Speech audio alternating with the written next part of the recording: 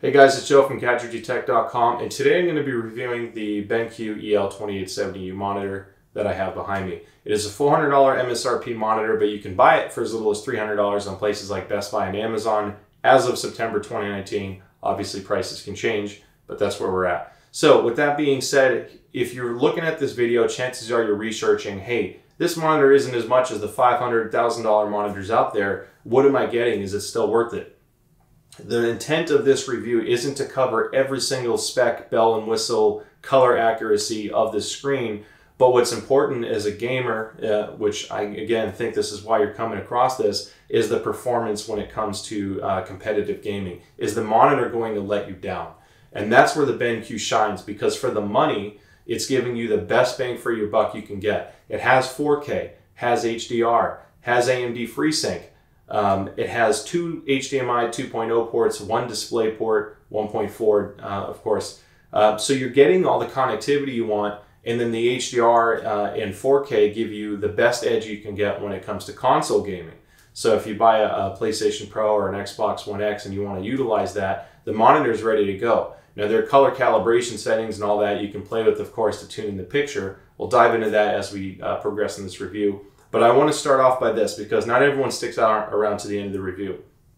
If you're looking for a value monitor that gives you 4K HDR and gives you a competitive edge because of the low input lag, high performance, etc., the BenQ kicks ass. I've been using it for a couple months now. I've compared it to the Samsung 4K HDR monitor that's also about $300 through Best Buy. I've compared it to my LG 43 inch 4K, which was a, decent, it's a mid range LG and this thing blows the pants off of both of those monitors because the brightness is excellent, the um, contrast is adequate, but we'll get into that later. But you get the 4K clarity with ridiculously good input lag. It's a one millisecond response time. Measured input lag on a couple sites are as little as four milliseconds, which is less than half of the fastest television you can buy. So for the money, yes, if you're a competitive gamer and you want to get every upper hand you can without breaking the, the bank and spending everything you have left in your wallet to get what you want, this is an awesome monitor. So let's talk about why.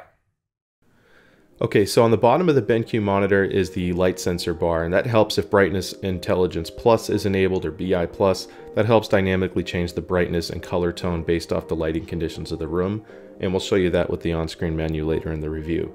Uh, design wise, it is a very straightforward monitor. Everything is black, the bezels are not too thick or thin. The back is a VESA 100 mount, um, standard C13 power input cord, which means no power supply necessary, along with two HDMIs and DisplayPort on the opposite side. The pedestal gives you a standard tilt function, although there is no height adjustment. Okay, now it's time for a head-to-head -head comparison, and in this case, we actually chose a television instead of another computer monitor.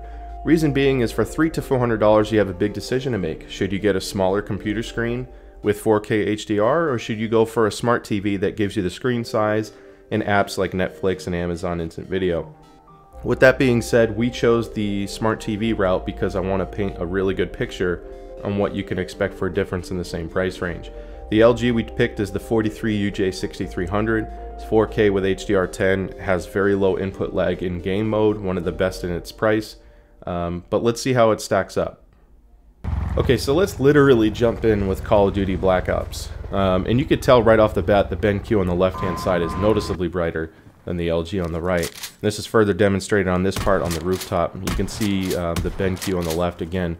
Much brighter picture, much more detail. Uh, inside, even further demo. Look at the wall with the three color bands, whereas the LG kind of has a gray film. Things just seem to pop more on the BenQ. And that is the critical point I am trying to make because if you look closely, you see that right there in the window?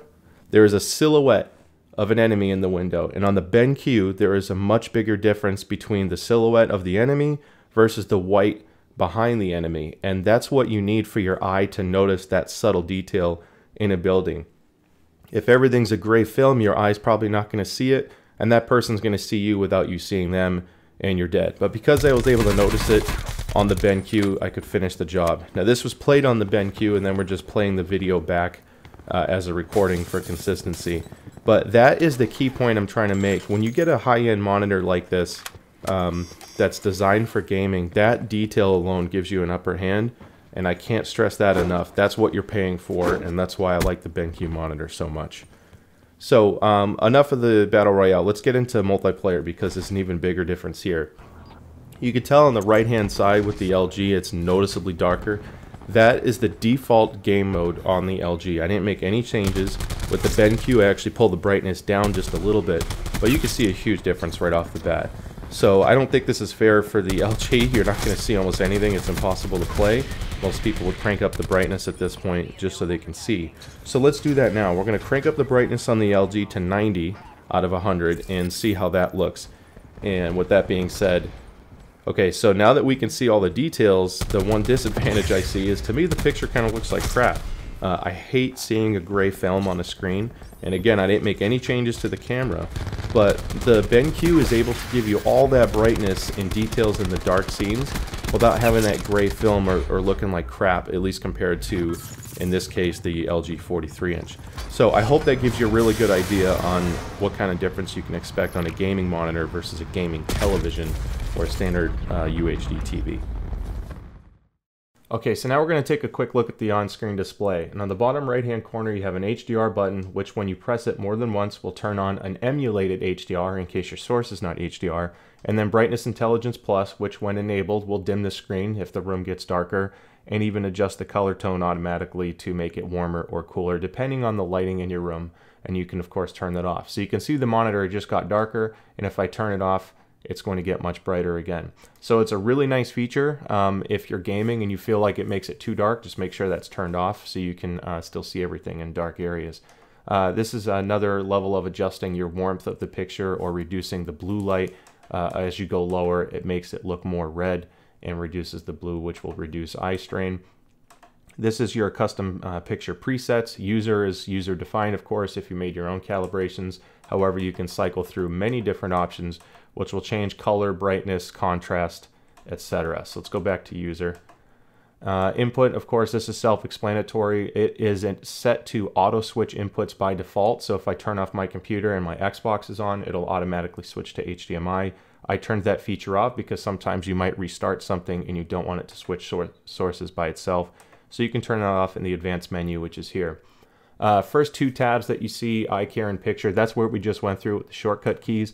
Picture Advanced, this is kind of cool because super resolution is a really unique feature that I recommend looking into to see if it helps or hurts your picture. It basically creates almost like an outline, if you will, to um, anything on the screen. It, it's like drawing a black pen around certain items, which can make things look sharper. It does increase the sharpness, but it can add noise and make certain games look a little funny. So play around with that, see if it gives you any kind of an edge or improvement. Smart Focus just creates a matte box in uh, the outer edge of the screen. I don't really recommend using this because uh, most modern video players or video players can do that automatically. However, it is built into the screen if you want that. Um, and then let's go back one more. Display mode, full, that's pretty self-explanatory. That's just your scaling. So going to audio, it does have 2 watt speakers, so you can change the audio volume here. And then system, uh, on-screen display, clock, switch inputs again, custom keys. You can assign the shortcut keys to be either input, brightness, picture mode, etc. Right now it's my picture mode and input. Uh, DDC is basically just turning on um, the monitor's ability to communicate with your computer to tell it what kind of resolution and refresh rates it supports. Always leave that on unless you're having issues and have to turn it off. Uh, auto input switch, there's your setting I was talking about. I leave it off because I like to manually switch. However, that is your spot to change it. Auto power off, if the monitor has no display for a while, it'll shut itself off completely instead of just standby. And resolution, notice, basically shows you what resolution and if HDR is enabled on the screen or not. So that covers the on-screen display. Now let's uh, talk about our final thoughts. Okay, so that wraps up the BenQ EL2870U review. I hope you learned a lot from this review. We certainly learned a lot just by playing with the monitor for quite some time. And I can tell you it has ruined me because I cannot go back to my purposely bought LG 43 inch 4K that I was using for gaming. Uh, I can't use it anymore because I feel like I don't see as much. I feel like my aim isn't as good because of that stunning input lag and brightness that you get with the BenQ. So, with that being said, if you're looking for a monitor that you can actually afford and you don't want to have the every single bell and whistle, 99% color accuracy, etc., you don't have to spend a fortune. You can get it with the BenQ. It's marketed as an affordable HDR 4K screen for gaming enthusiasts, which is huge because gaming enthusiasts need a lot. Um, it's a great monitor. It hasn't let me down. It's now my main monitor. I am keeping it at this point because I like using it so much and I feel like I am not the same player when I return to other screens.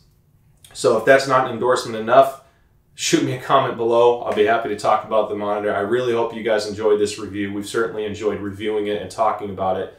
And thanks again. We will see you next time. Bye.